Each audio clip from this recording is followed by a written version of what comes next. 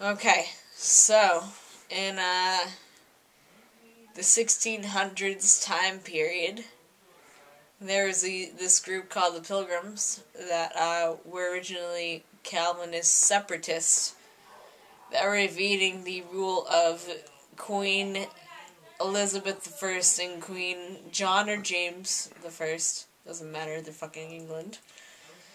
And uh, they decide to. Wait, I should start over.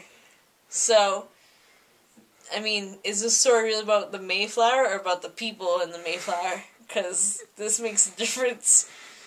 Because there's two stories. The original Mayflower story starts with in 1607 the original Mayflower fl- uh, fly, not flies, but it sails to Norway to make its maiden voyage, and then uh, and then it goes to uh, Bordeaux, France. From there, it goes to England, where it picks up the fucking fascist fucking idiot, fucking religious people. Anyway the Calvinists, I should say. Anyway, so uh, so I guess that gives you both stories just right there. And uh, so they sail, they sail for like months and months or whatever. Lots of people die, and then they sail to uh, what is known as Plymouth Rock, Massachusetts, which is actually um, not the original rock they settled on. They settled on this rock that um, was probably demolished by erosion.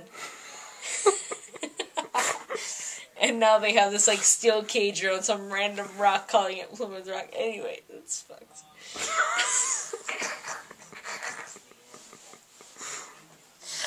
Alright, sorry. And and they also give wax tours if you're interested. it's really all this retarded. But anyway. So the pilgrims land in about uh I would I think it's probably um March that they land because April was when they really start to uh, realize the Native American presence is there and they're trying to find what they can to salvage uh, their food supplies and, and to keep everybody healthy and like living because there was a hundred and hundred uh, five to nine. I'm gonna say five to nine because I don't remember the exact figure. Uh, people living living in the Mayflower, not living in, living on, but not on in the colony. Anyway, there were some pregnant bitches too, so who knows? Uh, so. Go. All right, so it was about uh either 104 to 108 people, doesn't matter, around that range, there's some pregnant, pregnant bitches or whatever. And uh, so, so either way, the Iroquois, which were the, the tribe at the time that was showing up to be like, hey, hey, buddy, you landed on shore. What's going on? We're we're cool people. Do you do you want to like smoke this or you, or do you want some corn or or you know whatever. So so the people are just like, "Oh no. You're you have different colored skin than us. You're weird. We're to shun you for a while until we until we're dying of fucking disease in the winter." So whatever. And then like so a few for a few months they don't take any help from the Iroquois or whatever. And uh and then it comes to wintertime where they they hadn't planted shit and the Iroquois are like, "Hey, hey, we're coming back again.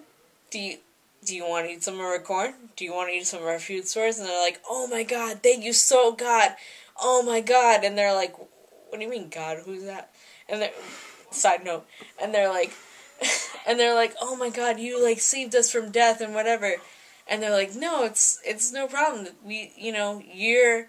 You're a person just like we are a person and we want to give you some we want to give you some more food and shit to stay alive and they're like oh totally cool thanks thank you so much you guys and whatever and then so so the fucking spring comes and the indians come around they're like hey you want to know how we like sur- helped you guys survive throughout the winter and the indians are like yeah Oh wait, no. I'm sorry. The pilgrims are like, yeah, yeah, we want to know how you guys survived.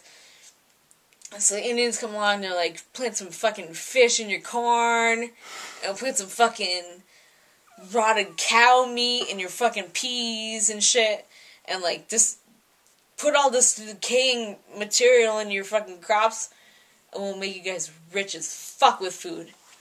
And the and the whites are like, I don't know, that's PC, whatever I'm white anyway, but it's like, but the the white people are like, oh yeah, guys, you guys are so awesome. Oh my god, you guys are totally be invited to our party when we have one. And the Indians are like, okay, yeah, cool, we'll, we'll see you then or whatever.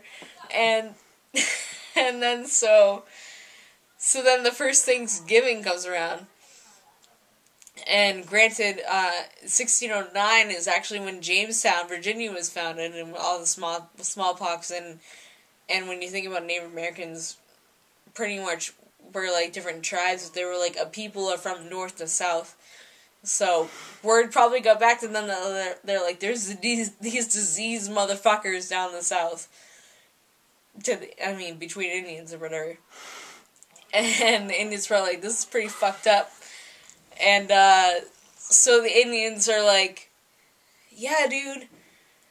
Well, I mean, this is not so cool because there's we like shared our secrets with you and you and you're not really giving back to us and they're like oh wait no i'm sorry we decided to uh to take all of your secrets of living on the land and to build you a casino instead because we decided that you're not worth shit and that we want you off our fucking land so we can make some houses and some fucking cornfields and like schoolhouses and whatever and the Indians are just kind of like left with like they're kind of like, huh, what? And then and then the British government comes in with their legal documentations, and the British government says like, oh well, here's a bunch of legal paperwork that you guys have to sign, and the Indians are kind of like, oh, what do you mean legal paperwork? What? Because they're used to just like settling things with like fucking glory or like brute mentality or something like that.